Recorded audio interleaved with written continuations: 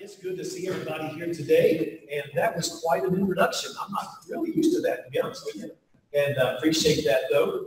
Um, with John Maxwell's team, I do uh, guest speaking a lot of times in different venues, such as hospitals and real estate companies, where we'll have maybe eight to 10 employees, you know, uh, around the table, and we do these things called lunch and learn.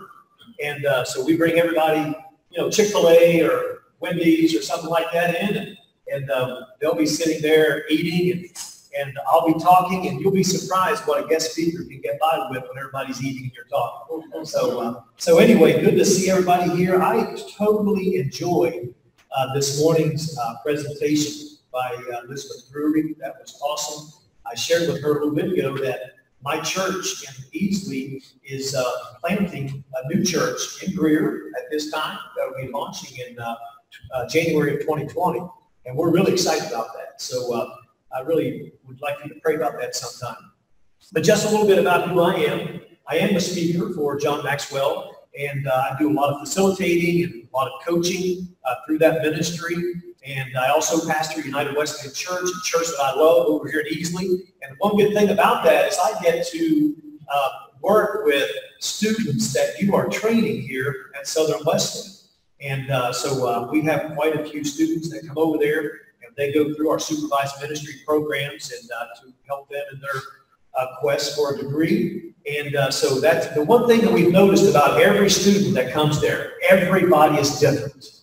They all come with their own culture, their own personality, and they're coming into a church that has their own strategy and vision, but everybody's bringing something different. And so part of the job really for us as pastors is trying to get everybody that's coming into this to connect and so that we can make sure that culture that they bring in does not eat up our strategy. And uh, so we're going to talk about that in a little bit. And then just here recently, I started uh, working with uh, uh Tom Harding and the district uh, administration. Tom is our district superintendent, and uh, I am now we renamed everything, not the assistant superintendent, but the director of operations. So uh, I was uh, uh, sharing a little bit ago with, uh, with a few of you that it was a blessing today because this was the day that I'm supposed to be in the district office over here, working with my wife, that's the administrator over there. And so I, this is really a great thing and to be here to speak. I want to thank you, Karen Lee, for the invitation and working with you in this process. But you know, it's it's been awesome, though, to see the growth of Southern Wesleyan University since I've been in this area. I've been here since 2007. And I drive up and down these roads a lot. And, uh, man, it just seems like for a long time there, every month, you can look over here and see something different. You can see the running track. You can see the scoreboard. You can see uh, the golf uh, course out there. I'm an avid golfer, so I go by there once in a while and stop and put some change in that machine and uh, hit some golf balls in it. But it's just so good to see that. But I want to just start out by sharing a couple things that uh, Elizabeth Drury talked about this morning. She talked about how all of us are different and uh, how we should let God use us. She talked about this Southern culture that uh, we're involved in right here in central South Carolina. And I come from a culture a little bit different. I was born and raised in West Virginia. And uh, man, I tell you, you talking about a different culture. I was in that church climate up there for 16 years, and uh, it was a legalistic climate. And so I came in there with my eyes wide open as a uh, free will Baptist, to be honest with you. That's where I came from when I came into the Wesleyan Church. And so after I was in my first pastorate, I went to a church called Huntington First Wesleyan Church in Huntington, West Virginia and uh, spent 10 years there. But during that time, we had a district superintendent changeover, and the gentleman's name that came to uh, be with us was Dan Finch. I don't know if many of you remember Dan Finch. I see a couple hands. Dan Finch and I became best friends. And uh, Dan was a mentor, personal coach of mine. I became his assistant superintendent as he came into this legalistic culture. He came in there for one reason. This place needs change. It these change, and these change quick, or we're going to lose more churches. So I remember what happened is that Dan Finch came in here with this strategy and vision into an already established culture. This is the way we've always done things. That's what culture is. This is how we do things. So what happened, nothing changed until something changed the culture because culture always trumps strategy. Whatever that culture is, is going to win the day. Well, Dan Finch came in and told me his vision, told me his plan, said, can you get behind this? I said, absolutely. But something had to change in that culture for this vision and strategy to work. Here's how it changed. I remember the day. It was in 1995. And I got up behind the lectern like this at our district conference. And I said this. I said, our conference action committee has met. And we hereby propose that any reference to jewelry, hairstyles, clothing, any, any reference to that, we make a motion to get rid of it, and we're all on the same page here. We're starting out on a new plane. 16 people stood up and started going like this. Ah, we knew this was going to happen. Get these young preachers in here, and everything's going to change. I mean, me being the diplomatic person that I am, I, thought, I said this, hey, guys, stop. You don't have to leave. Dan Finch grabbed me by the back of my belt and said, let them go, then we'll vote. and that's exactly how the culture changed in West Virginia. Whenever, when all those people left and we voted. And so, you know, I wanted to share that because with culture and strategy needs to kind of be on the same page if it's going to be totally successful. And so there was a clash of culture. And for us to be successful, I think that we have to make sure that we're gaining ground every day where culture and strategy becomes more similar than different.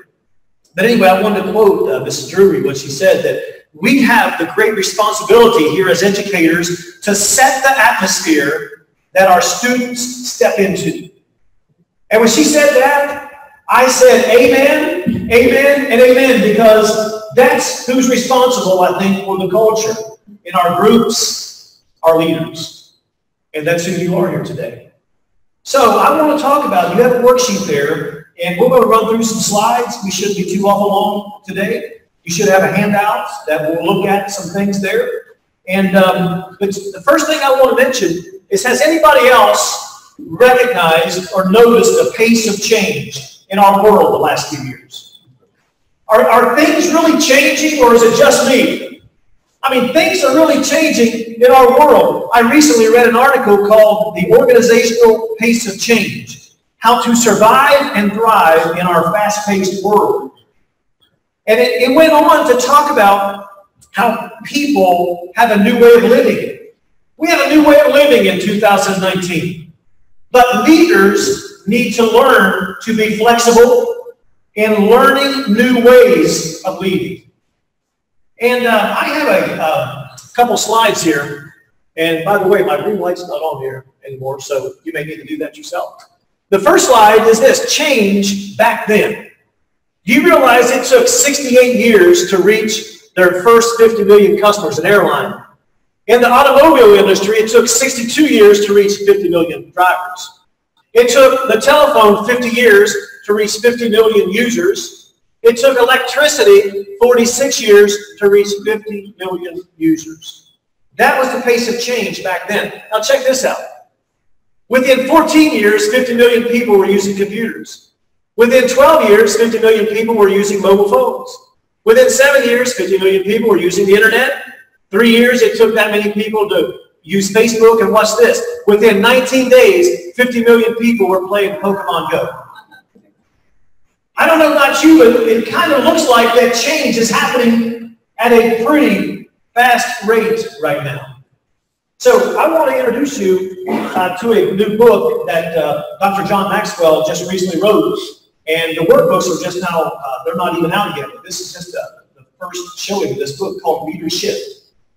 And this book, uh, of all the books that Maxwell has written, I feel like this one here points to our times now more than anything that he has written. And it's about how 11 essential changes that every leader must embrace. And uh, he goes through there and talking about due to the fast pace of change in our world, that leaders need to think differently. They must shift their leadership, called leader shifting. And to define that, Maxwell goes like this. He says leader shifting is the ability and willingness to make a leadership change that will positively enhance organizational and personal growth. It's, it's having the adaptability and the willingness to make changes due to the changing culture. And here's one quote in that book right here. He says, you cannot be the same, think the same, and act the same if you hope to be successful in a world that does not remain the same. This world is not remaining the same. And for us as leaders, our role is to continue growing and changing and adapting. But you know, the fact is that our culture in our world has changed. It is changing, and it'll continue to change. So where it leaves us as leaders, we must make sure our culture is in line with our strategies. We must make sure deep down in the, in the cultures that I'm talking about now are the cultures that you lead in your classroom, in your division, in your church, wherever it is. That we have to make sure that we have strategies that are matching our culture that we have in our groups. Let's take, for example, Southern Wesleyan University, our, your mission statement. It's on the worksheet there. The mission and strategy say this. Southern Wesleyan is a Christ-centered, student-focused learning community devoted to transforming lives by challenging students to be dedicated scholars and servant leaders who impact the world for Christ. And um, then also, uh, it says it on the screen there, but also on your worksheet, it's not on there, that it says a Christian university where inventive learning and transformative experiences happen through faith-filled community. All right, so when I look at that, and all I did was a Google search. I just Googled Southern Wesleyan, up comes the website, and I find these two very important pieces of information. So now the tough question for all of us, and mainly you, because you'll be going back into your classrooms and your offices in the next week, the tough question is this. Is the culture of your group, your division, your area of leadership, is it playing into or moving away from the SWU mission and strategy? That's where it has to, it has to be laid. Where do we, in the culture of our groups, you might say, well, Tim, what does culture mean? That's a very good question. What does culture mean? It's on the slide. Culture is a word for the way of life of groups of people, meaning the way they do things, and different groups may have different cultures. Now, let's talk about this for a second. A culture is passed on to the next generation by learning. But genetics are passed on by heredity. Culture is this, all the stuff that glues organizations together. Has anybody heard of, ever heard of Yakov Smirnoff? I, I think he's one of the funniest people that ever lived. Listen to this story. When he came to America from Russia, comedian. He said, I'll never forget walking down one of the aisles of the grocery store and seeing powdered milk. And he said, man, just add water, you get milk. And then he said, right next to it was powdered orange juice. Just add water, and you get orange juice. And then I saw the baby powder. and I thought to myself, man, what a country this is. And you know, when I think about that, I think, yeah, that's how we are. You know, we're an instant culture. We do things in a fast way. And, uh, and he knows it too. Just here in the last, uh, for, for the last eight days, we, we returned on uh, Sunday evening. My wife and I did from Martha's Vineyard. And we've been going there now for the last four or five years. And, uh, it's interesting the culture when you get on to Martha's Vineyard. The first thing we did when we walked into our house that's owned by my sister-in-law, she uh, said, here, she said, left a note, said, here's two golf tickets. And she knew that we loved golfing. She said, uh, my husband's a member of this little golf course. It's, uh, it's over on the Chappaquiddick Island. So we found out where Chappaquiddick was. We got over there to the edge of Edgartown and got on that little ferry. It took about a two-minute ferry ride, and pretty, we got our, we took our Jeep off there, got right on the island. Found this little golf course. It's a links course. I said, wow, I've never played on a links golf course before. I've always played on these South Carolina courses and uh, here and there, and, and I've never played on a links course. Got there, we got on this dirt road, and we finally found the golf course. It was in a real rural area of Chappaquiddick. And we couldn't even find it. We finally found it, got in there, and I, I had already told the guy on the phone that I'm left-handed and I didn't bring any clubs here. I need to rent a set of golf clubs. You have left-handed clubs? He said, yes, we have one set of left-handed clubs. I said, okay, Tim Jones, I, I need them. I didn't ask the price or anything like that. So got out of the Jeep. My wife already uh, went in there and got her clubs, which were right-handed. Everybody has right-handed clubs, but not too many left-handed clubs. Got in there and never saw anybody in the clubhouse, which, by the way, was a little shack about 12 by 12. And I started looking around, couldn't find anybody. And finally, one golfer came by, and I said, hey, uh, do you work here? He said, no, I'm just a golfer here. I said, well, I called in here, reserved clubs. He said, just couldn't take much. One matter of fact, there's cold drinks and refrigerators, things like that. And I said, man, this is honest This is not how we, we should be acting here. You should be saying, we're, we're needing $200 for a round of golf, and our drinks cost $12 a piece. So anyway, at the end of the day, we played on this really old and really worn out And finally, I finally found somebody around, and I said, hey, I owe somebody some money. I said, I didn't take any drinks, although I was told I could. I didn't do that, but I did rent these golf clubs. They said, oh, they're free. Don't worry about it. So the lady just told me, go ahead and unload the refrigerator. If you want anything out of there, there's iced tea, there's water, whatever you want. And I started thinking, man, this is a different type of culture that you guys are operating here that's really not the same as the rest of the island that we've been enjoying the last week and a half. And so, um, and by the way, just a little something to throw in there. At one of the restaurants there this year, went in to eat breakfast, and I just didn't see him on the menu, but I was courageous enough to ask the lady if I could get a bowl of grits. And she looked at me, she said, well, we have oatmeal. I said, well, oatmeal and grits are really not the same. And so I up having oatmeal. But you know, when you get into a different culture, a different, matter of fact, we came off of that golf course, but that was one that I probably wouldn't want to pay $10 to play on if it was here in South Carolina.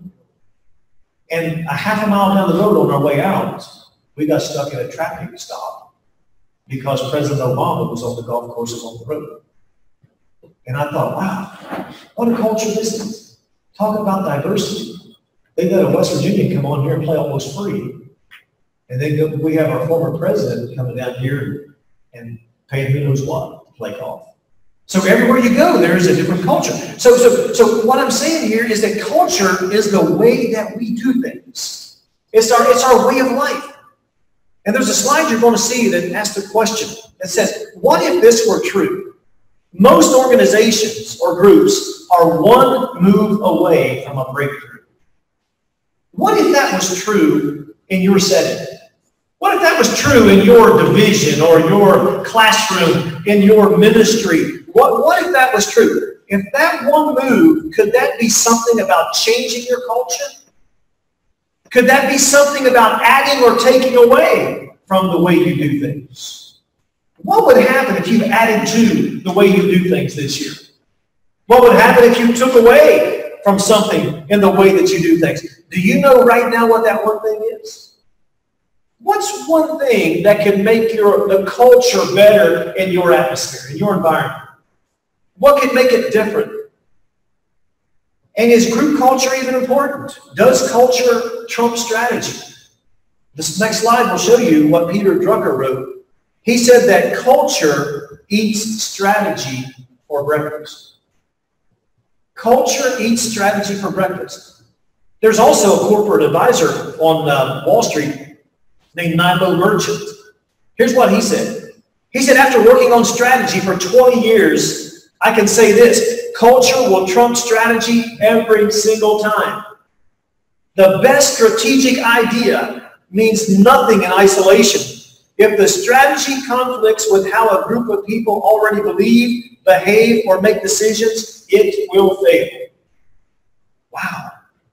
Say conversely, a culturally robust team can turn a so-so strategy into a winner.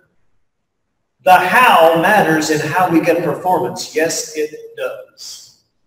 I was just thinking here recently that culture is the reason why I have a favorite hotel that I like to stay in when I travel. You know, it's, it's, it's, it's how they serve you. It's how they greet you. It's all those cookies and popcorn they have laying out that's free of charge whenever you feel like you just have an urge something. Culture is why you like shopping in some stores like Bass Pro Shop or Costco or IKEA. And you despise shopping in some other stores. It's probably to do with the culture. Culture is why I love to eat at Logan's Roadhouse. I mean, not many places you can go into and eat peanuts and just throw the shells all over the floor. I we get chewed out for doing things like that at home. But you can just go in there and just eat peanuts and just throw anywhere you want, and nobody cares. It's all about the culture. Culture is why some families always have fun when they're together, and why some cannot stand to be in the same room with each other. It's the culture, it's the environment, it's the atmosphere. Clemson football, man, we could talk all day about that. About the culture that has happened here in Clemson football. Now, I don't know much about their strategy that Clemson had, the Clemson University strategy. I don't know much about that. But I do know a little bit about the culture of Clemson football. I do know that it's pretty exciting on a big game to sit there if it starts at five minutes till five, if it starts at five o'clock, at about five minutes till five, ESPN has the cameras glued on that bus going around the stadium with the coaches and players on there getting ready to come off. Man, I don't know about you, but I came into this thing as a West Virginia fan, and and, uh, and West Virginia Clemson had a pretty big ball game there about six years ago and in that Orange Bowl. And I paid a big price for bragging about that too much and how that turned out. But it's pretty exciting now to see Clemson come around there on that school on that bus and jump off of there and run down and touch that rock. They touch Howard's Rock. Can you imagine how much different it would be in that culture if they quit doing that? If they just said, okay, this year we're not going to touch the rock. We're not going to drive around on the bus. We're going to come out like most other teams, just come out of the tunnel, go on the field and play football. No, it's all about the culture. Culture trumps strategy. Culture will eat it for breakfast. Think about Chick-fil-A. I mean, Chick-fil-A has an interesting culture. Man, has anybody been reading about that macaroni and cheese that they have out there now? How many of you have heard about that so far? Man, how many of you have had it so far? Wow, two or three guys? Yeah, most of me, yeah. No, no calories, right? But you know, it's all about their culture. And I, I, have studied a little bit about the Chick-fil-A culture. And that this is one thing that I, you know, we have to try things when we can. And I'm trying to teach, to lead my staff in a way that, that our church, we become like the Chick-fil-A culture. Because their three selling points of this culture is pretty simple. Number one, you make people the priority. People become the priority in this Chick-fil-A culture. Matter of fact, Truett Cathy famously said, we aren't in the chicken business. We are in the people business. We're not in the chicken business. We may sell sandwiches, but we're in the people business. And then the second part of that culture is that uh, we do things uh, in an uncommon way. You might think, what kind of, what's uncommon about their way of doing things? Well, how many other restaurants do you go in and ask somebody working there to do something and they look at you not like you just sell off a turnip truck. They look at you and they say, my pleasure. It's the culture. Culture trumps strategy. It eats it up. And that's probably part of the reason why that Chick-fil-A was recently named the number one fast food restaurant in America. It's my pleasure. Can I have another Diet Coke, caffeine-free Coke? My pleasure. Matter of fact, somebody wrote a book. Dee Ann Turner was the author of It's My Pleasure. And she said on a podcast recently, she said, when a guest says thank you, what you hear back from our employees is my pleasure because what it really means is it's my pleasure to serve our company, to serve our customers. She said Chick-fil-A cares about you personally when you walk into their, our stores. It's a genuine care, not manufactured. The service mentality is embedded in our culture all the way from hiring through day-to-day execution. And one of their presidents recently said, if you aren't serving chicken, you better be serving someone who is. Wow. It's all about the culture. It's about what's happening and how we do things. And, and the third thing about Chick-fil-A's culture is they are driven by purpose. You know, I didn't know this till recently, but in 1982, Chick-fil-A had hit its first ever sales slump. And instead of making major corporate cuts, Truett Cathy and his executive team came up with a corporate uh, purpose statement. Here's what it said. To glorify God by being a faithful steward of all that's entrusted to us and to have a positive influence on all those who come into contact with Chick-fil-A. So the takeaway for me for Chick-fil-A's culture is I think that what's important to them, everybody knows their organizational purpose and they communicate it relentlessly. They know what that company is all about and that's what they communicate. I mean, they, Chick-fil-A employees are all in to the strategies of the organization. I mean, what would happen if all of these Chick-fil-A employees come out Monday morning and they just said, we're going to change something around here. We're going to do it our way now. And they started this maybe an isolation campaign, do it our own way. Well, that happened once. Not, not at Chick-fil-A, but at another company. And another company that I've done some research about is Southwest Airlines. And a matter of fact, my wife worked in uh, airline industry for 23 years as a journalist. And uh, she met this man that's the president of, um, of Southwest Airlines. And he wrote this book called Nuts. Matter of fact, I would highly recommend it. If you want to learn a little bit more about company culture, this book here is awesome, called Nuts. But anyway, what he based his whole company on when he transformed uh, Southwest Airlines was two things. Number one, we are going to have fun in our organization. If you don't like to have fun, don't apply. You, you, you, we're going to have fun. That was their, that was the vision and the culture. And then the second thing is, he says, we're not going to serve meals on our airlines. But what they do is they serve 70 million bags of peanuts every year on their airlines.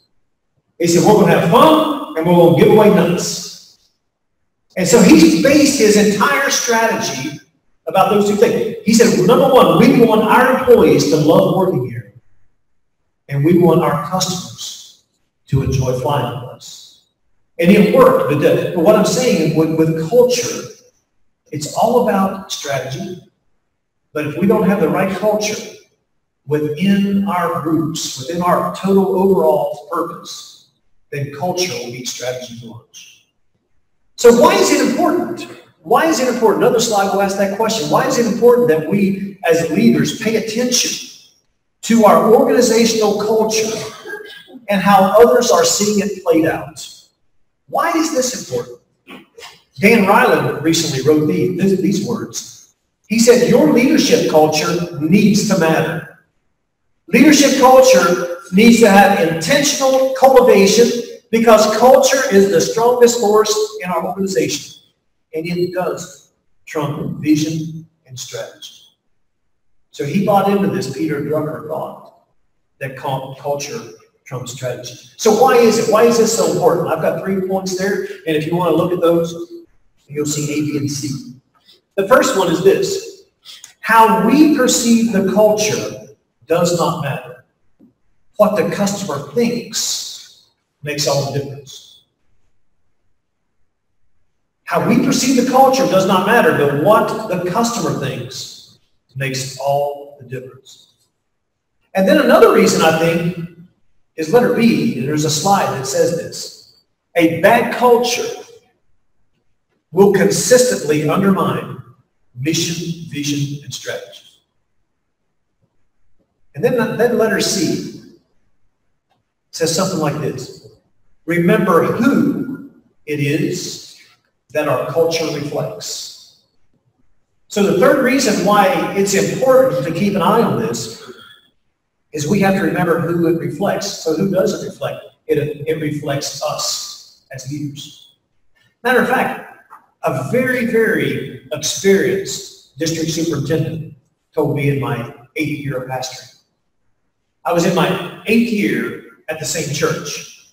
I had one pastor that was six years, my next pastor was 10 years, and i now I've been 12 years at this same church.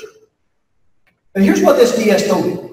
He said, after three years of pastoral leadership, look out into the congregation and you will see yourself.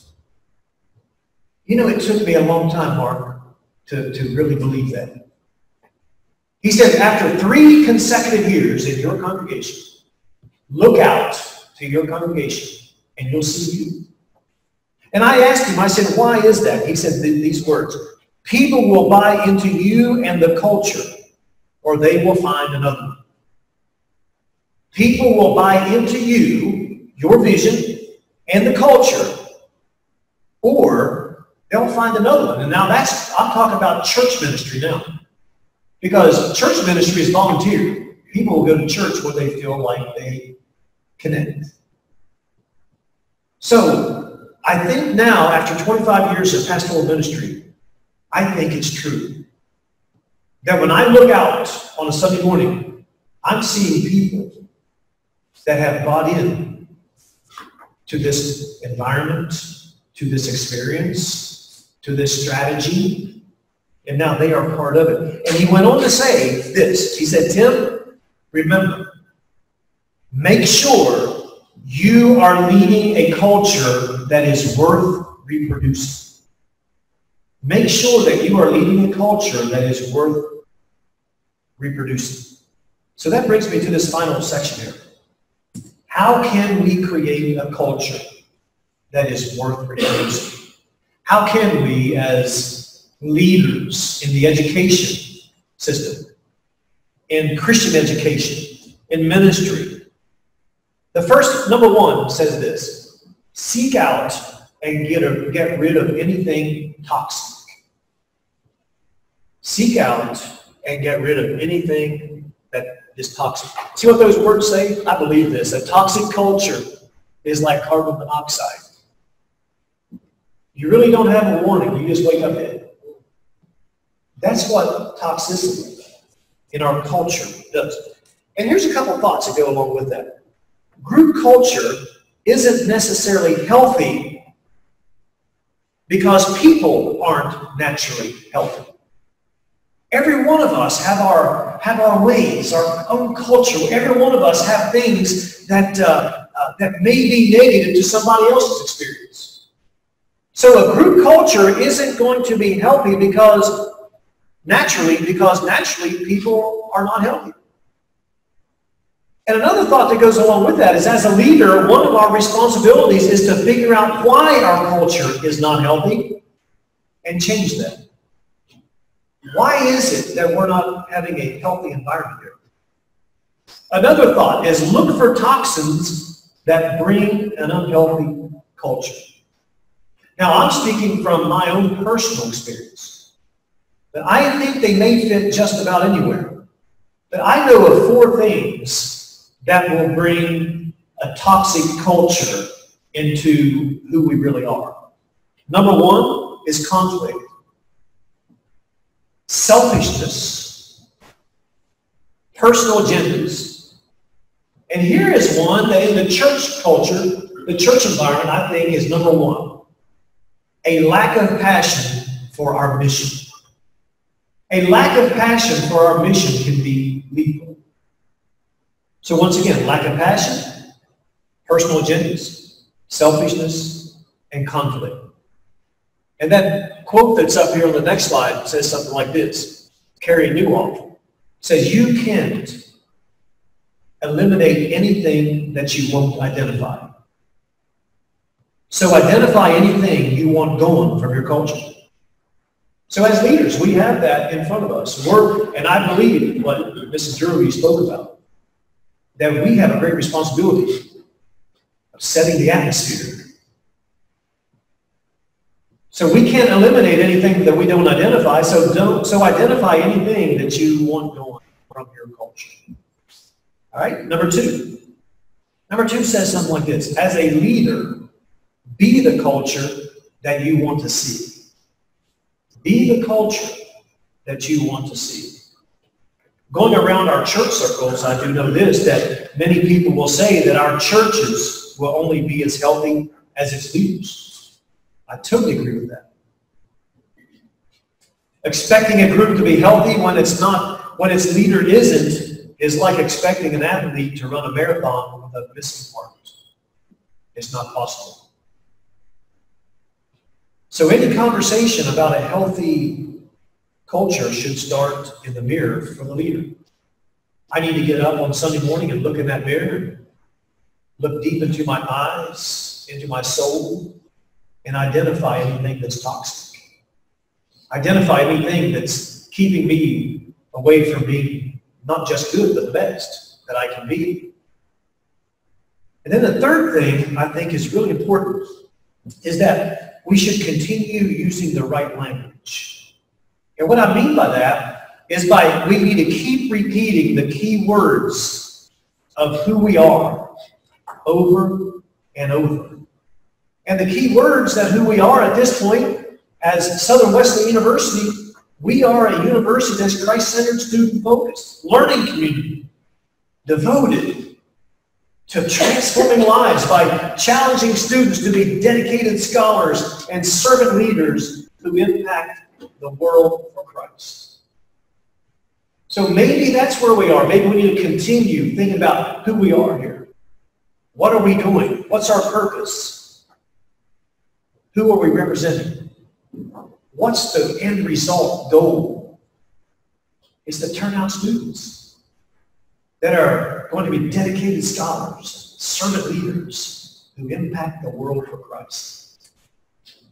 So I hope that your culture, where, where you are responsible for, is feeding into that. So there, there are four questions there. And I would like for us to take exactly five minutes, and we're just about finished. We'll just take about five minutes and just maybe be in just quietness. And all of us together, Let's look at these. And I, I would like for us to just think about these four things, and then we're going to close here in prayer in just about five minutes, okay? So we're on the clock right now.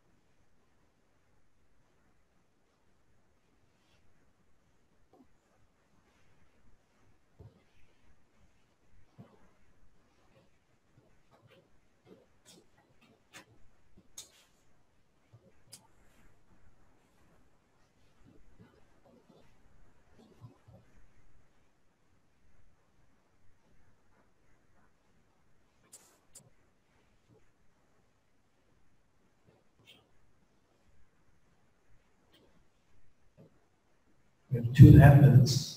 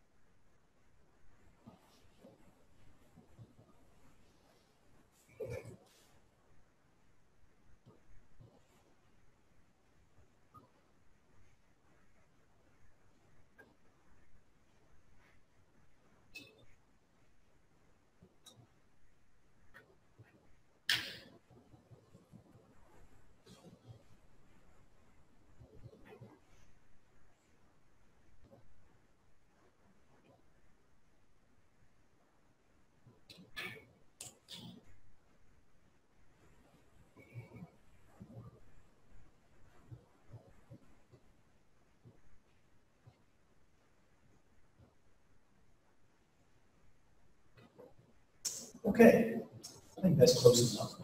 Um, I hope that just that real brief exercise was good because what I just talked about in this last 45 minutes is I'll be speaking again on Saturday at our leadership retreat that our church is sponsoring. We have about 25 leaders that will be gathering for about a six-hour conference. And, and I'm going to be speaking exactly, this was brand new for me. So I hope it was healthy and, you know, for you. But I'm going to be asking these same questions to our leadership team and myself. What is good about the culture in our group? What, what's good about it?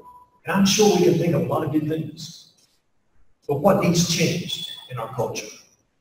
What are some things that we probably should take away? What are some things we could add to? And am I allowing what is good to stand in the way of being great? Sometimes, man, we just have to get ourselves out of the way and just let something go away so we can be better than we thought we ever could be. And then finally, how does the culture of my group align with the strategies and mission of Southern Wesleyan University? How you do things, what you're all about. How does that align with what's going on? Remember, the Clemson culture, man, I don't know what their strategy is, but their culture sure is good. Their culture is winning. Winning the day, it seems like. The Chick-fil-A, I don't know much about their strategy, but I can tell you this, their culture is really winning the day. So I just want to leave those thoughts. And if you don't mind, can I just have a brief prayer? Lord, I just want to thank you for this great opportunity that you have given me, Lord, to stand here today.